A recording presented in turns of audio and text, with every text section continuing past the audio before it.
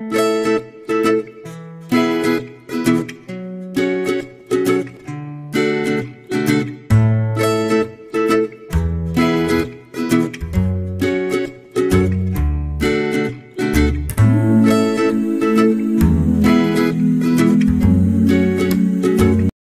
안녕하세요. 다이아미 아트센터 부산점입니다.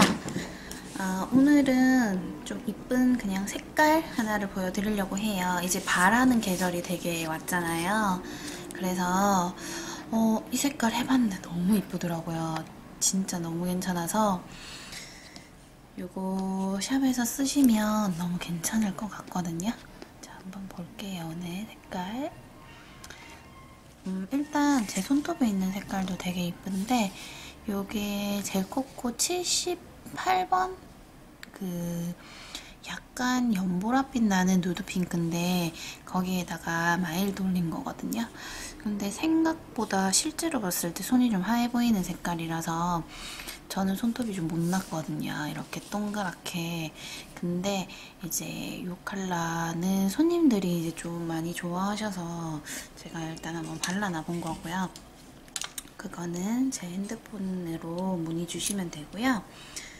어, 오늘 보여드릴 거는 어, 포니젤로 음, 포니젤로 99번 컬러예요. 자, 어, 캐롤앤 샤인 네이비인데 어, 그 여름이나 봄에도 진한 색깔을 많이들 하시잖아요. 그래서 이 색깔 이제 잘 사용하는 방법인데 일단 컬러를 한번 보여드릴게요. glitter 이렇게 가루로 되어 있는 애들을 발라보면 이렇게 밀리는 스타일인데 어, 포니는 그런 게 없어요. 이제 가지고 계시는 분들은 아실 거예요. 그냥 이렇게 쓱쓱 바르면 되게 잔잔하게 발리는 거. 저는 스퀘어보다 오발을 좀 많이 쓰는 편이거든요. 그라데이션 할 때도 그렇고 오발이 조금 편해가지고 저는 오발롱을 조금 많이 사용을 하고 있고 원장님들께서 추천해달라고 하시면 저는 오팔 많이 써요 이렇게 말씀을 드리거든요. 음. 그래서 이렇게 색깔을 남색깔 바르시고 그냥 어 바로 이 glitter 바르셔도 되고 그냥 glitter만 이렇게 바로 바르셔도 커버가 모두 다 됩니다. 그래서 이렇게 만약에 one coat만 바른다고 했을 때 그러니까 어, 그런 분들도 계세요. 아 너무 색깔 많이 쓰면 난 좀 아까운데 이렇게 생각하시는 분들도 있거든요.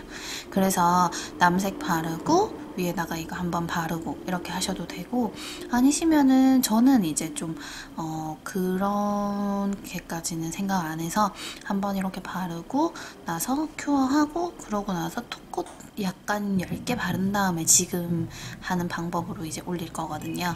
이해 가시죠? 그러니까 one coat 해도 되고 two coat 해도 되고 상관없다는 거예요. 근데 밑에 커버가 될 만큼은 되셔야 되니까 그거는 원장님들께서 알아서 조절하셔가지고 하시면 되시고요. 자 이렇게 해서 큐어가 안 된 상태의 컬러에 저희 스노우폴링 보면은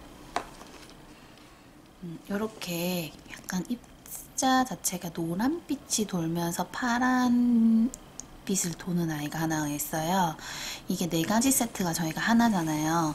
근데 이게 색깔이 너무 별로 안 이쁜 거예요. 저는 이제 보고 그래서 다른 건 다 이쁜데 아 얘만 조금 안 이쁘네 이렇게 생각을 했어요. 사실 얘를 피부에 발라보면은 이렇게 하나하나 이렇게 빛깔이 이렇게 반짝반짝반짝 그러거든요. 그러니까 그 샤이니지 같은 경우는 하나하나가 되게 반짝임이 강해서 이렇게 저도 이렇게 해놔도 다 이렇게 반짝이는 거예요. 엄지에 있는 색깔이. 근데 이거를 제가 여기 위에다가 올렸더니 너무 이쁜 거예요. 자, 한번 보여드릴게요. 자, 그냥 여기다가 실린더 브러쉬로 하셔도 되는데 사실 샵에서 너무 바쁘면 그냥 막 빨리빨리 브러쉬로 하게 되잖아요. 음, 저는 이제 제가 샵을 다 알다시피 샵을 하고 있으니까 어, 이렇게 좀 빠른 방법을 많이 사용하는 편인데 지금 이제 글리터가 밑에 붙지 않도록 브러쉬에는 이 샤이니지만 있도록 해서 이렇게 눌러드리면 어 갑자기 옆에서 공사 소리가 자, 이렇게 눌러주시면 정말 많이 반짝이죠? 어.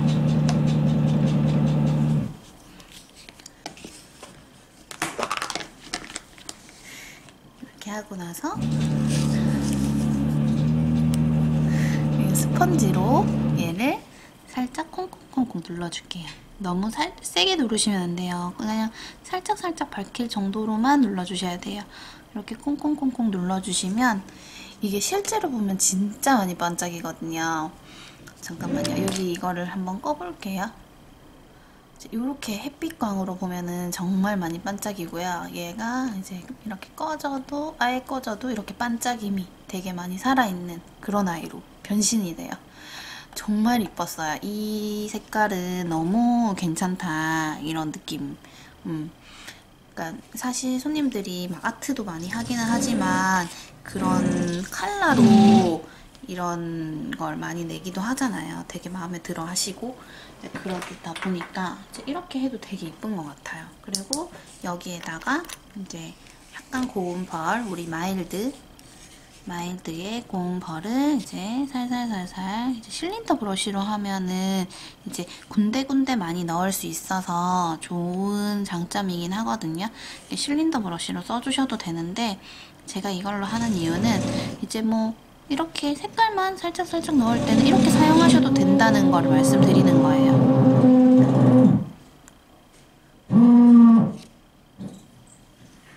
자, 이렇게 넣어주면 되세요.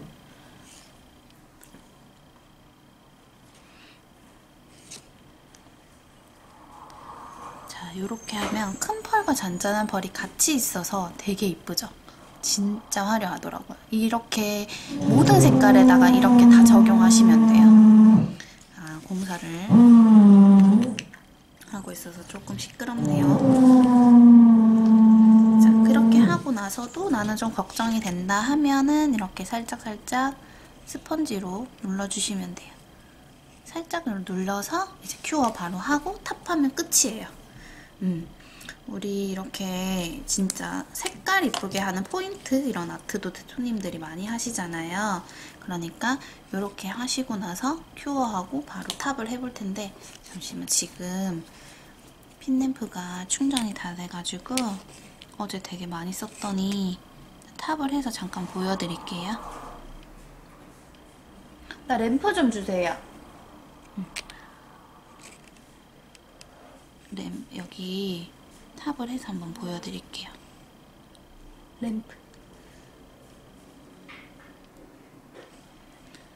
자, 색깔 보면 진짜 예뻐요. 이게 아, 이제 실물로 봐야지 진짜 예쁜데 이게 실물이 아니어서 잠시만요. 큐어를 할게요.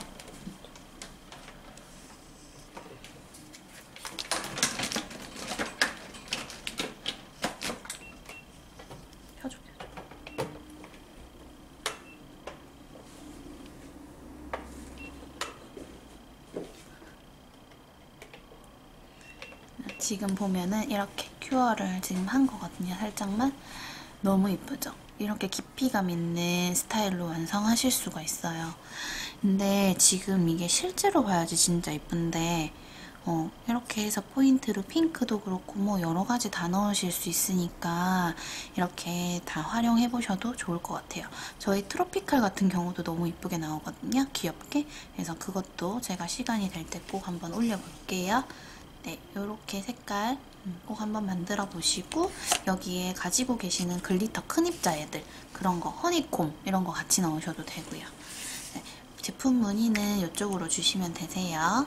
감사합니다.